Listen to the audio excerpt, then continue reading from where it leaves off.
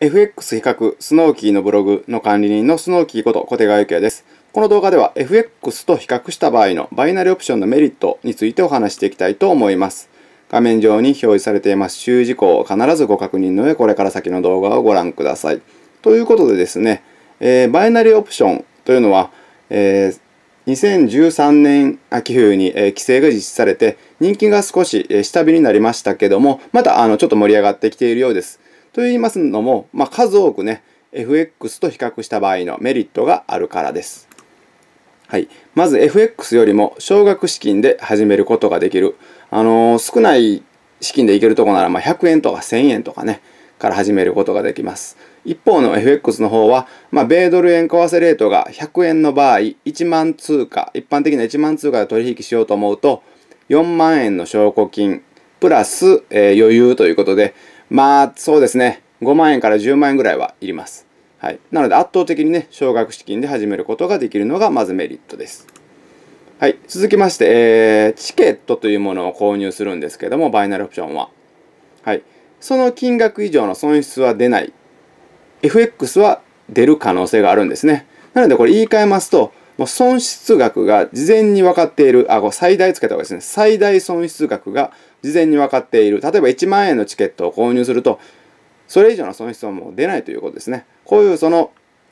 はっきりと損失額が分かっているのというのは非常に魅力です。はい、えー、続きまして、レンジ相場、動かない相場でもチャンスがあるということで、えー、まあ、この動画を撮影している現在というのは、あの、米ドル円なんかはもう、ボックス相場、レンジ相場の中で動いていないんですけども、そういった相場環境でも、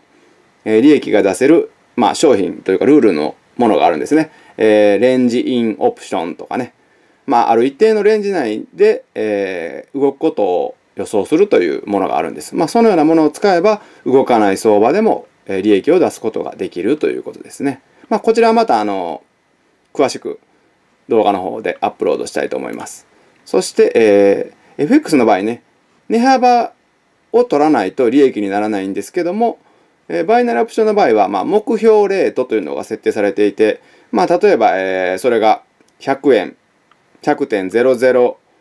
円とします。